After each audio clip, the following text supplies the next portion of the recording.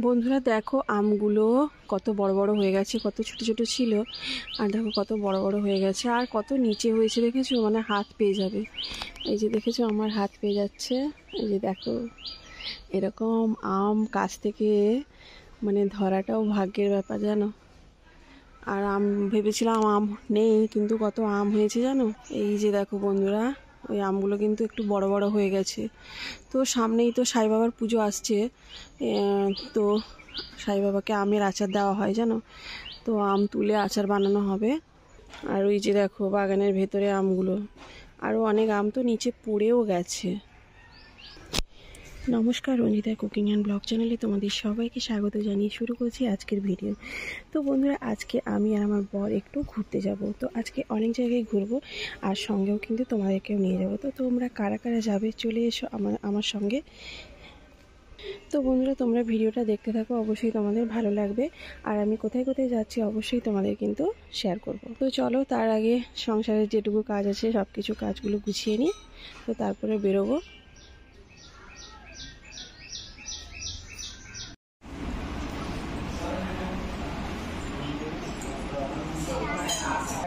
তো বন্ধুরা সব- কাজকর্ম শেষ করে মন্দিরে চলে এসেছি। আর দেখলে শিব ঠাকুরের কাছে প্রথমে পুজো দেওয়া হয়ে গেছে। তো প্রথমে পুজোটা দিয়ে তারপরে তোমাদেরকে আমি দেখাচ্ছি ভিডিওটা।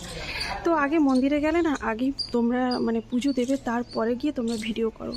তো সবটাই যদি আমরা ঠাকুরকে মন না দিয়ে যদি আমরা ভিডিও করতে থাকি, তবে ঠাকুরের কাছে যাওয়ার কোনো মূল্যই নেই। তো চলো, বড় ঠাকুরের কাছেও পুজো দিয়ে দিয়েছি, তো দেখাই চল। তো দেখো বন্ধুরা, বড় ঠাকুরের কাছে ওখানেও পুজো দেওয়া হয়ে গেছে। তো দেখো কত রকম, কত লোক পুজো দিয়েছে। আর দেখেছ কত নারকেল, তারপরে মানে এই কোণের তেল, টেল অনেক কিছুই আছে। তো এখানে মানে মানে যারা পুজো দেয় না, সত্যি মন থেকে খুলেই দেয়, আর মানে এরা এত কিছুই দেয়, তো সেটা বলার বাইরে। তো চলো বন্ধুরা, এই মন্দির থেকে এখন যাব, তো আরও কোথায় যাই, তো চলো তোমাদের দেখাই। তো দেখতে থাকো ভিডিওটা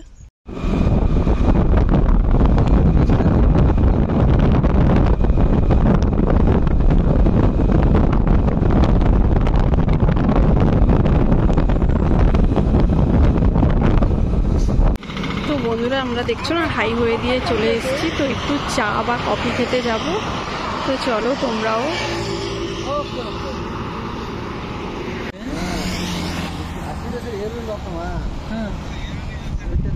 তো বন্ধুরা, পাঁচ কিলোমিটার দূরে চলে এলাম কফি খাওয়ার জন্য।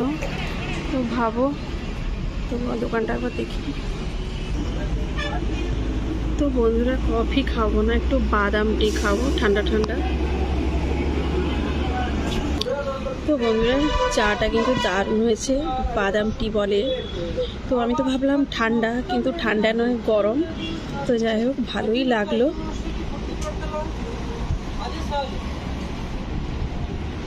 বন্ধুরা কফি খেয়ে বেরিয়ে এলাম মানে টি খেয়ে বেরিয়ে এলাম। এই যে দেখো, নার্সারিতে এসেছি, তো গাছ কিনবো। তো আমার বরের তো গাছের প্রচুরই শখ, তো তার জন্য একটু গাছ কিনবো। দেখো, কত সুন্দর ফুলের গাছ সব বিক্রি হচ্ছে। তো যাই হোক, কী গাছ কেনা যায়?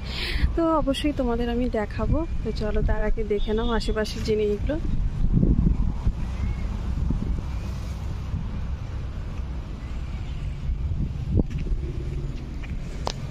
তো কত বড় গোলাপটা একটা মানে গাছে দুটো রকমের গোলাপ হয়েছে।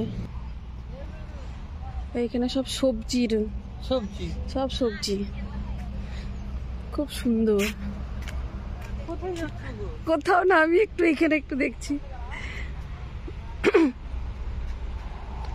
লঙ্কা মানে সমস্ত রকমের সবজি এখানে আছে।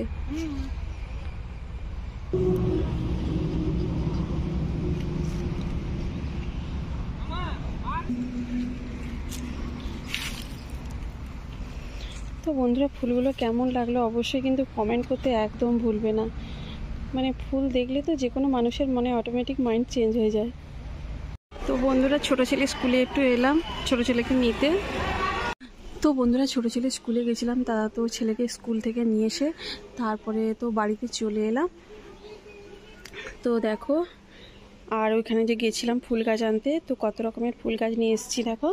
তো এখানে দু রকমের তিন রকমের জবা গাছ আছে আর দু রকমের গোলাপ গাছ আছে। আর এই গোলাপটা দেখো, কত সুন্দর। আর বন্ধুরা, আজকে তো বাড়িতে রান্নাবান্না করছি না, তো তাই তোমাদের রান্নাটাও শেয়ার করতে পারলাম না। তো যাই হোক, আজকে একটা জায়গায়, একটা মন্দিরে যাব প্রসাদ খাওয়া মানে খেতে। তো ভিডিওটা কেমন লাগল বন্ধুরা অবশ্যই কিন্তু কমেন্ট করে জানিও। যদি ভালো লাগে একটা লাইক করবে শেয়ার করবে, আর আমার চ্যানেলে নতুন বন্ধু এবং পুরনো বন্ধু চ্যানেলটাকে সাবস্ক্রাইব করবে আর আমার পাশে থাকার চেষ্টা করবে। তো চলো বন্ধুরা আজকে মতন শেষ করছি। চলে আসব আবার একটা নেক্সট একটা ভিডিওর সঙ্গে নিয়ে। ততক্ষণে তোমরা সবাই ভালো থাকো, সুস্থ থাকো বাই বাই